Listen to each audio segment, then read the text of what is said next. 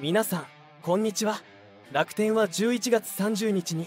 パワハラ疑惑の安楽智弘投手を12月1日に公示される契約保留者名簿から外し自由契約とすることを発表しました。今回は安楽投手本人の心境とチームは今後どうなるのか紹介していきます。今江俊明新監督の下で再始動したばかりのチームから飛び出した元ドラ1のパワハラ騒動が広がりを見せていました。選手や関係者らの話から安楽投手はロッカールーム内で若手選手の下着を脱がせて下半身を露出させたり食事の誘いを断った後輩に対して深夜にしつこく電話をかけるなどといった。陰湿な行為を行っていたといいます。球団側も事態を重く受け止めており11月25日に予定されていた安楽投手との来期契約交渉を無期限延期しています。場合によっては保留者名簿から外し自由契約とすることも辞さない構えを見せていました。このままでは選手生命が絶たれる可能性もありますが周囲はどう見ているのでしょうか。安楽投手本人を知る関係者に聞くと意外な裏の顔が浮き上がってきました。安楽投手といえば名門として知られる愛媛県済美高校の野球部を代表する OB でもあります。そんな安楽投手を高校時代から知る球界関係者は神妙な面持ちで彼の問題行為を聞いた時まさかという思いとやっぱりかという複雑な気持ちになったのが正直なところですねとコメントしました。安楽投手の人物像を深く知り尽くしているだけに事実であれば本人に猛省を促したいと当人以上にショックを隠しきれない様子です。数年前から日常的に行われていたという点を鑑みるとプロ入り前から同様の行為を行っていた疑惑も浮上してきます。実際はどうだったのでしょうか。冒頭の関係者に聞くと目の前で見たことはありませんがその気配はなんとなく感じ取れたと明かしています。そして彼は野球強豪校で規律が厳しいことでも有名な済美校出身ですからね。当時の野球部も例外なくその傾向がありその中でも縦社会というか上下関係は半端なかった。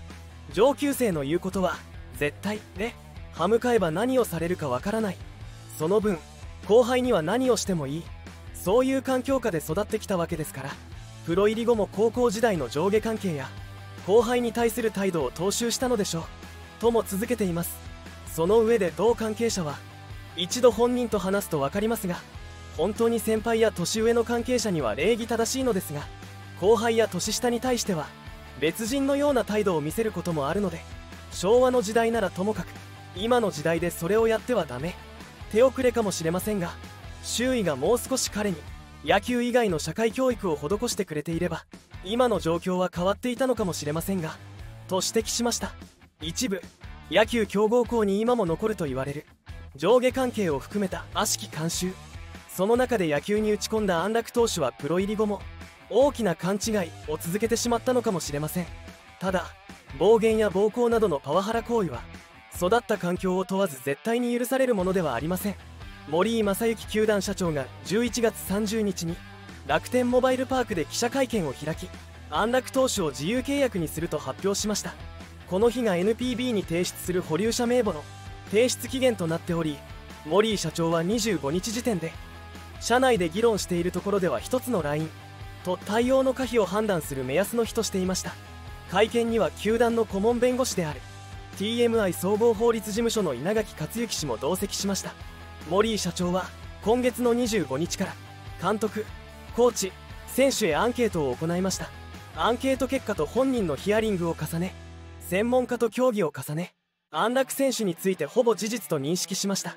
球団として重大な事態と受け止め保留選手名簿への記載をしないと決断に至りましたと説明しました。137名へアンケート配布を行い回答率は92%約10名の選手が被害を訴え目撃したことがある選手は40名いたとのことです。29日に森井社長が安楽投手に自由契約にする旨を伝え安楽投手はかしこまりましたと返答したといいます。安楽投手は反省の意を示しており選手やファンの方へ謝罪をしたいと話しているといいます。球団としては今後謝罪の場を設けることも検討しています。確認できた被害については平手打ちの事実はなく体的に押したという事実はありました。ロッカールームで下半身を露出させたことや罰金という名目での徴収アホバカなどの罵声を浴びせたことは事実だと認識されました。安楽選手と一緒に加担をした選手がいるという事実は確認できていないようです。また安楽投手の行き過ぎた行為はこれだけにとどまらず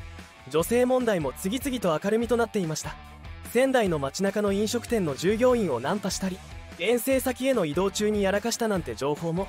球団内に出回っていたようで食事の誘いを断った後輩に対し深夜まで執拗に電話をかけた行為が問題視されていますが同様の被害は球団外の女性にも及んでいたようでその横暴っぷりがどんどんあらわとなっていきました。安楽投手は自由契約となりますが保留者名簿は提出期限までに交渉が合意しなかった外国人など記載されないケースはありますが自由契約になった場合でも再契約する可能性はあります。森井社長は再契約の可能性について彼の将来を全て否定するものではないとし現時点で2024年は考えておりませんが今後彼の行動や行いを見てしっかりと見てあげたいと思いますと含みを持たせました。今回の騒動についてネット上では